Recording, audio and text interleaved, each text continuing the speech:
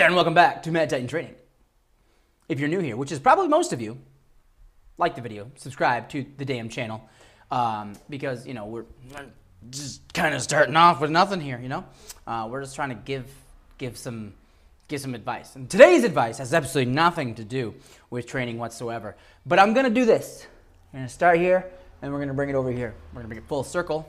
See, full circle back to training but you know, for whatever reason, all these other trainers out there, they always think that they're uh, a, a, uh, um, an authority on this. So I say, why not me? I guess I am too because I do this too. So what we're talking about today is uh, how to attract a let's just say mate. For most of you, it's a man trying to attract a woman, and that's okay. Or it could be a woman trying to attract a man. That's okay. That, that's a lot easier most of the time. Most of the time, it's I exist. Uh, but there's also uh, there's also the other combinations. So let's just say attracting a mate. How to attract how to attract another human being. Let's go with that. So there are four rules, four guidelines that I have decided are the only four guidelines you're ever going to need to attract another person. So let's get into them. And you're going to learn that I am quite fluent in Spanish, at least when it comes to counting to four. So, numero uno, number one, stop comparing yourself to other people. So, uh, unless you're Chris Hemsworth, which if you are, Chris, please share the video because that would be really good for me. Chris Hemsworth, unless you're Chris Hemsworth and you're a man, you're probably not as sexy as Chris Hemsworth. And it's just the way it is. Um, you're probably, probably, probably not. I know I'm not. I know most of you aren't. I know that I don't think anybody I know is. And that's all right. You're you. That's good enough. You don't need to be like Chris Hemsworth. You want to know why Chris Hemsworth looks like Chris Hemsworth looks? Because his mom and his dad were pretty people and they got together and they had like this perfect genetic. Uh, I'll tell you what they did. That's for a different video. Mm. Uh, but they got together and they had him, and, and he came out the specimen that he is.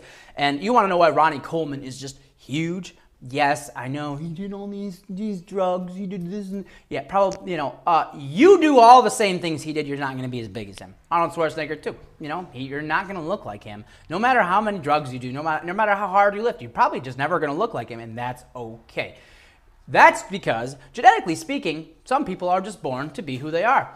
Uh, I'm born to be who I am, and you you are born to be who you are, and that's fine. That is good enough. Think about the person in the world you're most attracted to, uh, your crush, your significant other, and think, oh wow, uh, does that person does that person compare to to Chris Hemsworth? I don't want the answer from my wife. If she's watching, she better be. You better share this woman. She's probably like, no, he's not even in Chris Hemsworth's league. And that's all right. Because I like him anyways. Most of you, I would hope, feel the same way about the uh, significant other that you have. So stop comparing yourself. Number two, numero dos. You see, look at that fluency. Uh, stop pretending. And stop pretending to be somebody that you're not. Um, this is something. This go, this is a rabbit hole that we're not going to dive down real, real deep. But listen, you are not somebody else. You're not like me. Thank God. You're not like the celebrity that you love the most in the whole wide world. You're not. You're not like a certain former president that a lot of you are, or certain president, soon to be former president, whatever, that a lot of you love and adore. You're not like that person, and that's okay. You don't have to be like that person. Stop pretending that you are. You are whoever you are. And again, the rabbit hole goes deeper than that. Stop pretending that you like things you don't like because you want to attract somebody. Stop pretending that you that you believe in certain things that you don't believe in. Oh my God, how many times do I see that? And again, rabbit hole, but let's just, just, just go down the hole a little bit here. I know multiple people who have said that they are extremely religious because their significant other was and they thought that they had to be because of that. That's real. That's really weird. Just so you know, it's a really weird thing to do. But and, you know, when them when they broke up, they were like, ah, yeah, I really think that at all. Um, don't pretend to be somebody you're not. Don't pretend to do stuff you don't want to do. Don't pretend. Just, just don't be somebody that you're not. Um, number three, numero tres. See that? You probably think I'm straight out of Mexico, especially with this blonde hair, blue eye, pale skin. Stop thinking that everybody has the same taste. Not everybody has the same taste. You like who you like, other people like who they like. If you look at yourself and you think, oh my God, if I was a person of the opposite sex or same sex or whatever, and I was looking for somebody, I wouldn't be attracted to me. And that's okay, because somebody will be. In a lot of instances, and I see this a lot, it's, it's like,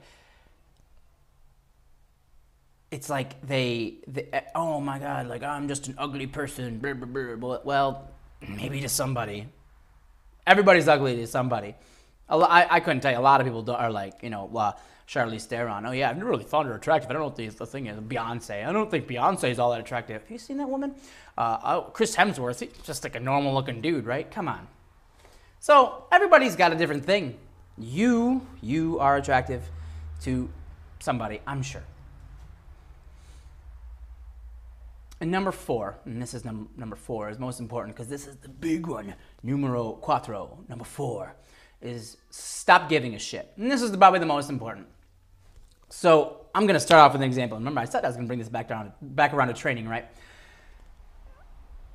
I train, I have trained many, many people, and some of you are going to feel personally attacked by this right now, and that's okay because yes, I am attacking you. I am, I am calling you out many, many, many, many of you, I will train, and, and it's, mm, I'm just gonna say it's mostly guys. Uh, you're like, I want to get, I want to get big, I want to get jacked, I want to get lean, I want to lose weight, I want to do, I want to get strong, uh, whatever. And I train them for a certain amount of time, and then they just stop coming. And why did they stop coming? Because they got a girlfriend. Because they suddenly decided, I want to care about my health. I care about how thin I am. I care about how strong I am. I care about my muscle structure. I suddenly care about all this stuff and then I got a girlfriend and I don't anymore. And that's because you never really cared. You only wanted to attract somebody. And so you didn't do that shit for yourself. You didn't you never you never did anything for you. You didn't do anything for you. You did it for somebody else. And that's just silly. And that really kind of wraps back up to, you know, stop comparing yourself. Stop pretending to be somebody you're not. Stop, oh, I love this. I love lifting, blah, blah, blah. Oh, you like me now? I don't really need to lift anymore. I got a girlfriend now. I'm good. I'm out. That happens a lot. And if you're watching this and you're one of those people, yeah, don't think I didn't notice. I always noticed. I always noticed when you just, oh, yeah, like, I've been coming for like three weeks and now I'm out because I met this girl and I don't really want to, I, I mean, I got a girl, so I don't need to lift anymore, right? Yeah, well, you know, when you're 40 and have a heart attack because you decided that you didn't care anymore about your health, yeah, you're probably going to care then. So stop giving a shit about what other people think at all. Stop living your life thinking, oh, all that matters is that I get somebody to love me. All that matters is that I have a significant other. How many people just share like thousand memes about how you should treat somebody or how somebody should treat you because you're the gift, God's gift to all other people and you're perfect and blah, blah, blah, all of it is nonsense.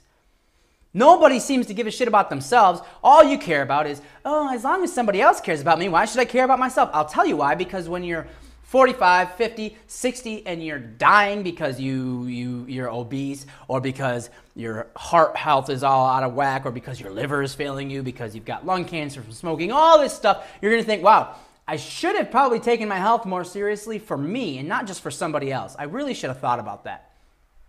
you know? Right? Right. It's not about the aesthetics of it. It's not about looking jacked. It's not about looking beautiful to anybody else. It's about, wow, I want to live like a longer, healthier, more comfortable life.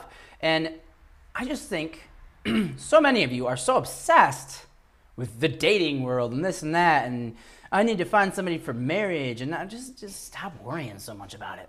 Worry about your damn self. And it you know these rules are all tied together. You know when it comes you're you're not a perfect person the person that you have a crush on, the perfect person that you love, the person that you are dating or you're married to, probably isn't perfect. Well, to my wife, if you're watching this, you are the one exception to that, right? Mm-hmm. She's going to leave a comment. No. Um, but for, for most of you, the person that you're most attracted to is imperfect. You're imperfect. And the person who is most attracted to you probably knows that you are imperfect, but you're perfect to them. And that means you need to learn how to be perfect to your damn self.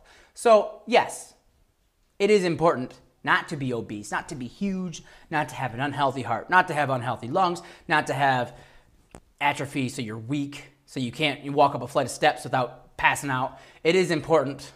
It is important, but it's not important for the sake of somebody else. It's important for you, for you, for your quality of life. You guys were like, oh, is he going to bring this back around to training or what? You're goddamn right I did. Because training actually has nothing to do with your dating life. How many women out there, by a show of comments, and see, that's how you get interaction. By a show of comments, how many ladies out there like a man with a dad bod? How many men like women who are thick with two or three or five C's, right? How many women like bigger men or men like bigger women? It's not about your weight. Everybody's different. Everybody has a different thing. Whatever you look like right now, somebody's attracted to it out there. Learn how to be, to take yourself and to be the best version of that, the only you that you're going to be, with your genetics, the best of your genetics, the best of your beliefs, the best of everything that you are, and separate that from this is what everybody else wants me to be. You be here, they be here. And just be that. Be better than you are now, and the rest will just happen. Yeah, that's right. Life advice, right? This is the way I have spoken.